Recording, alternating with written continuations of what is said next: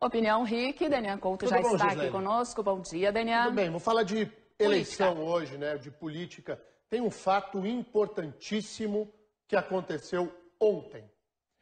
O pré-candidato ao governo do Paraná, Osmar Dias, rejeitou a aliança com o MDB de Roberto Requião. E a justificativa me parece correta do pré-candidato Osmar Dias, de que não era possível aliar com o Requião, porque Requião é defensor do PT, defensor do Lula, e isso gerava desconforto em Osmar Dias.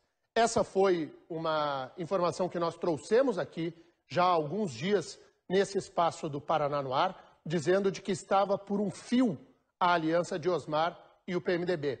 E ontem, de fato, acabou. Ruiu. Osmar vai sem o MDB e o PMDB vai lançar o João Arruda, que é sobrinho do Roberto Requião, deputado João Arruda, será candidato ao governo do Paraná. Mais uma vez, aquela coisa em que o MDB se comporta meio como quintal da casa do senador Roberto Requião.